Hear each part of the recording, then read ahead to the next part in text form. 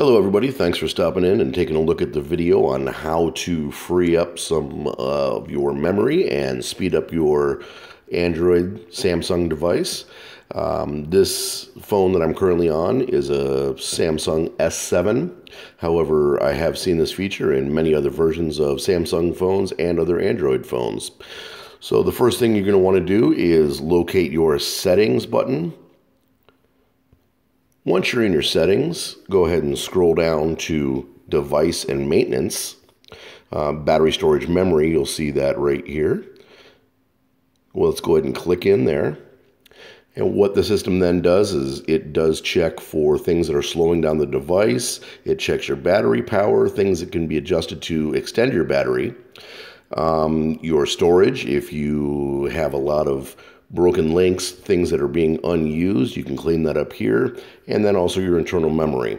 So currently you can see my device is at about 96% out of 100. Um, what you would do then, if, uh, if you do feel the need to optimize it, go ahead and click that big blue Optimize Now button right in the middle. And then the program is going to go through, close background apps, free up storage space, um, it's not noticing any abnormal battery usage.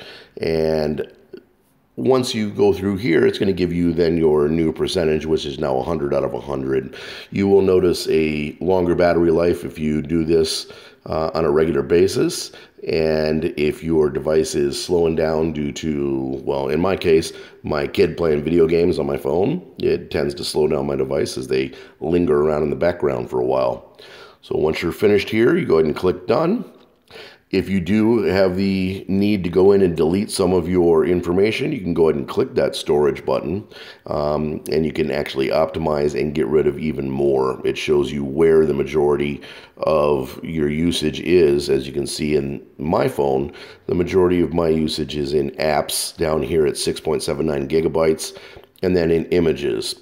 Um, so from there, I could go in and delete out a bunch of images or move them up to the cloud, or I could go into apps and actually get rid of some of uh, my unused apps to clean up more space. I hope this video has helped, and please subscribe to our channel.